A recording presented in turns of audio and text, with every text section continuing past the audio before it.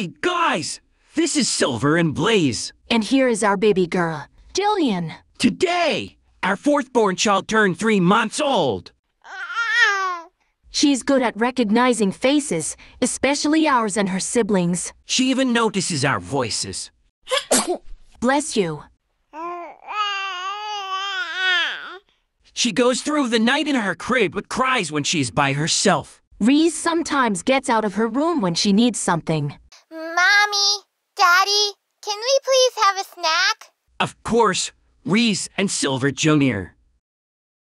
Sorry for the interruption. I was changing Gillian's diaper while Silver was helping our other kids. Gillian has been going through 8 to 10 diaper changes a day. Usually whenever I change Gillian's diaper, Silver changes Finn's diaper since we both take turns changing the diapers of our one-year-old and three-month-old. I just changed Finn's diaper, and now he's playing with Reese and Silver Jr. Gillian has been eating well lately, and she doesn't wake up too many times at night because her naps overlap with Finn's naps. Gillian usually wakes up about 20 to 25% of the time once Finn starts his nap. Finn naps for one to two hours, and he usually takes one to two naps a day.